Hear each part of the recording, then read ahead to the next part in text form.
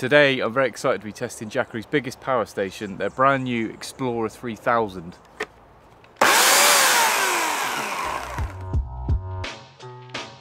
Right, first things first, let's get this beast unboxed.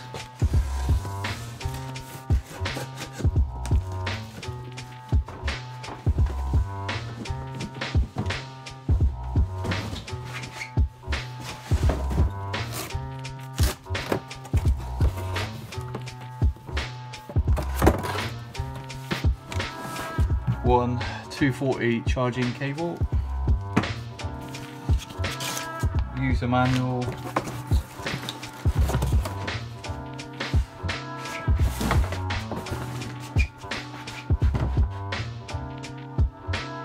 I'm going to pop this straight on charge and I'll talk you through all of the ports and whatnot. And then looking forward to getting into some proper testing.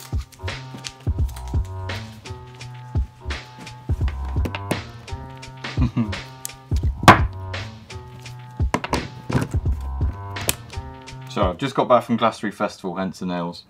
240 input, it's just down here on the right hand side.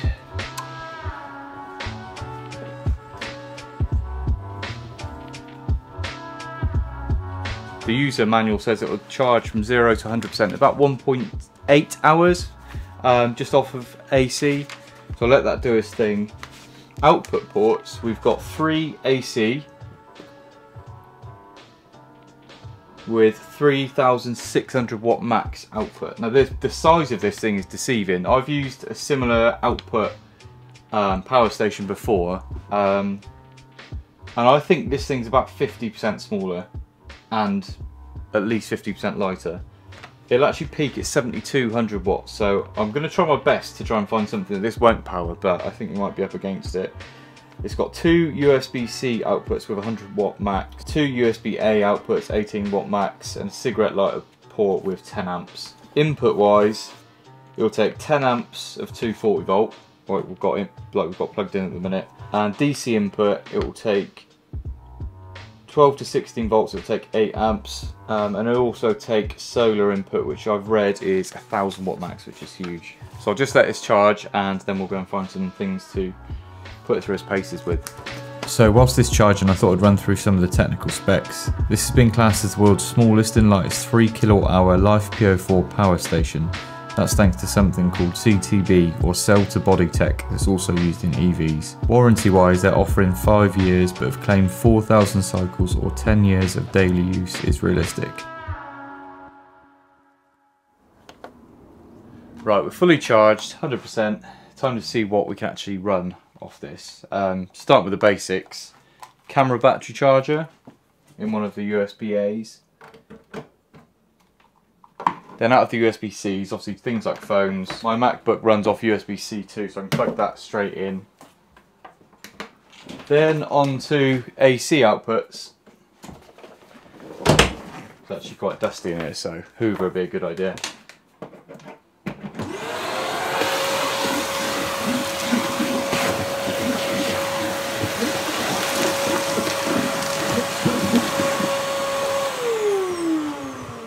So on Jackery's website, it's actually quite handy. Um, if you go onto whichever model, this is obviously the 3000 V2. If you type in the wattage of the appliance you're assuming to run, so something like a kettle is going to be 2000 watts. It'll run a kettle for 1.3 hours. So a bit of hoovering and we're not even down by a percent. So obviously light work for it. Um, I've actually got some scraps. As some of you will know, I'm building a van at the minute, camper van slash works van. Got loads of scraps and I could have chopped them up into firewood sized pieces. So might as well do that, see how many percent we can get it down by. So I'll run my chop saw. I'll also use the hoover to keep the dust down.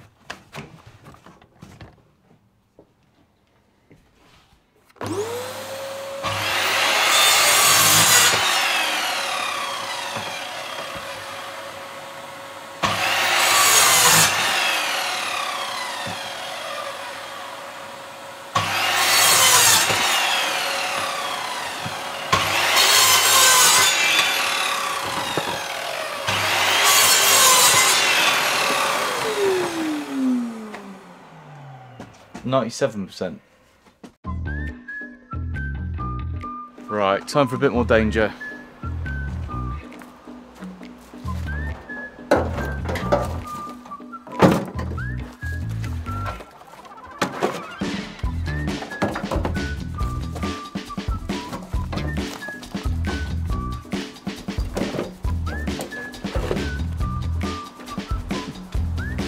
One of these trees started falling down back in the winter and Dad's slowly been chopping up some logs. I'll just give him a hand and I thought it'd be a good demo.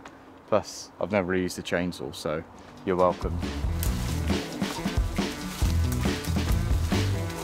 I was hoping I could pull it down, but it's quite stuck.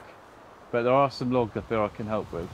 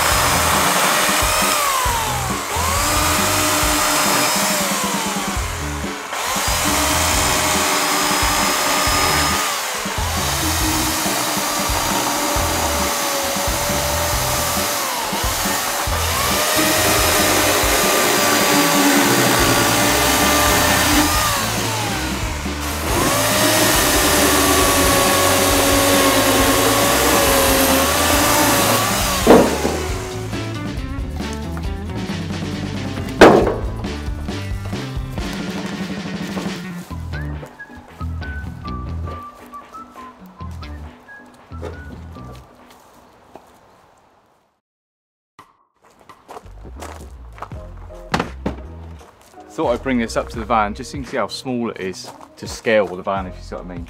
The fact that it's a power house is crazy. It feels a touch overkill just to take away in the car camping but if you like definitely didn't want to run out of power then it could be a good shout because this would quite easily fit in the back of a small hatchback. I will admit initially I was surprised that something this big and heavy, it's not heavy for what it is but something this weighty. I'm surprised it didn't actually come with wheels, but I've just checked on Jackery's website and you can actually get a trolley um, specifically for this, I think, um, as an extra. So if this was going to live permanently in a van build or in the back of your car to go camping, um, and you didn't need the wheels in the way, then at least you don't have them constantly with it.